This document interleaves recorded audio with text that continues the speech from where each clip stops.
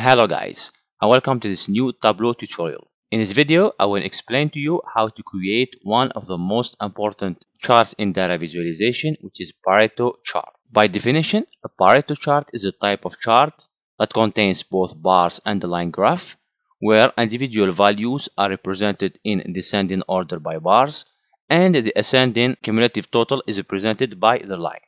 The principle states that 80% of the effects come from 20% of the causes. As an example, we can talk about 80% of sales that come from 20% of the products. And to create our Pareto chart, we are going to use the orders table from Sample Superstore that you can download via the link in the description. So to create our Pareto chart, we are going to use subcategory. So we drag and drop subcategory into the columns. We drag and drop sales into the rows. We sort in the descending order. We press Ctrl key and we duplicate the sum of sales. So we have said the first one it will be bar. The second one it will be a line. And we select dual axis. Now we go to the second sum of sales, so the second row, and we add table calculation. We select running total, and by definition, a running total is the summation of a sequence of numbers, which is updated each time a new number is added to the sequence by adding the value of the new number to the previous running total. And we click on add secondary calculation here we select percent of total and we close our tab. Now we can rotate our label and we can change the color of the bars. For example, we can choose this color. Okay. So like that, we get our simple Pareto chart, which gives us the sales, the percent of total running sum of sales with the different subcategories. So as you can see here, we have 17 subcategories and 20% of 17 is between 3 and 4 so we have 1 2 3 and 4 and as you can see here the percentage is 47.42 which means that the Pareto principle is not really applied in our case because not 80% of the sales come from 20% of the subcategories. Nevertheless, this chart will help us in our analysis. For example, the first one we have a percentage of 14.37% for the phones. Then the phones and chairs represent 28.66% of the sales, etc. So a Pareto chart can help a lot in our analysis by giving different values and different percentages. Since the principle states that 80% of the effects come from 20% of the causes, in order to see where our curve is located regarding the two reference lines, which are 80% and 20%, we are going to create a new chart where both axes will be represented as a percentage of total running sum. So click on new worksheet. We drag and drop subcategory into the columns, sales into the rows. So press Ctrl key and we select the subcategory into detail and we are going to create our percentage of total running sum. For the first one, we select measure count distinct add table calculation running total specific dimensions subcategory add secondary calculation percent of total specific dimensions and subcategory. We do the same thing for sum of sales. Add table calculation run in total specific dimensions subcategory, add secondary calculation, percent of total, and we do the same thing.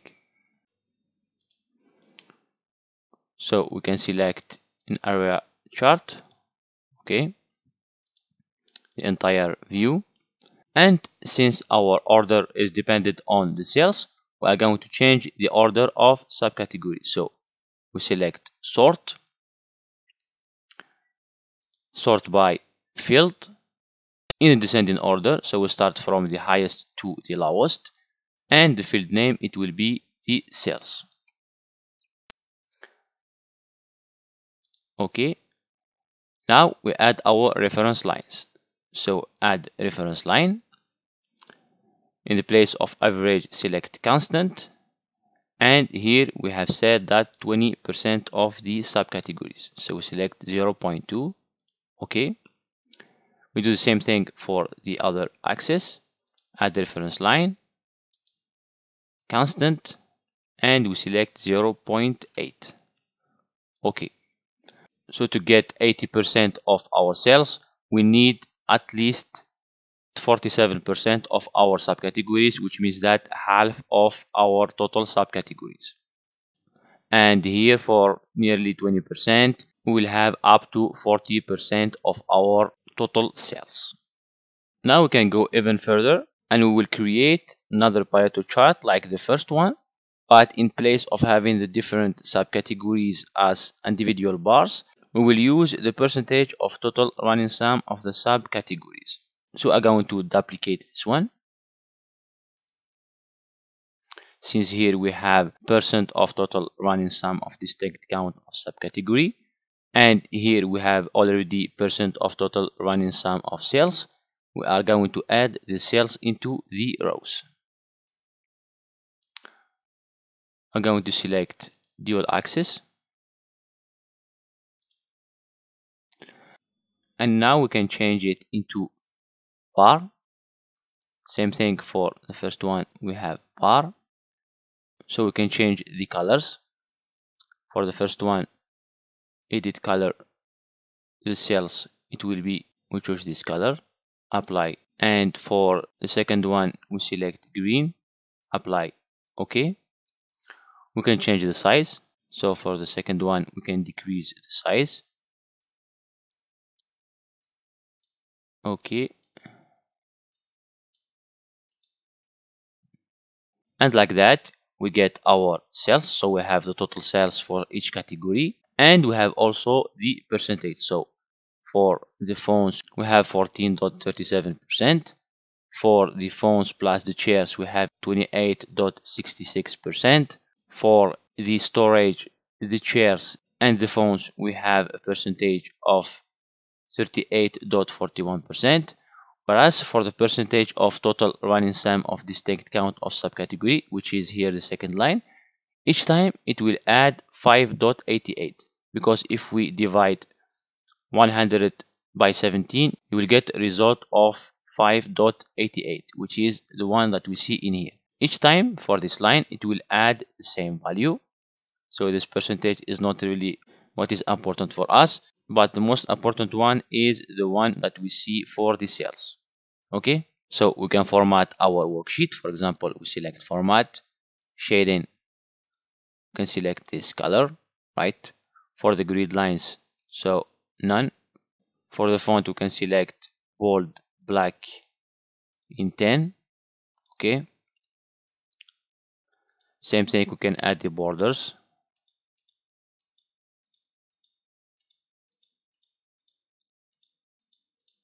put everything in black.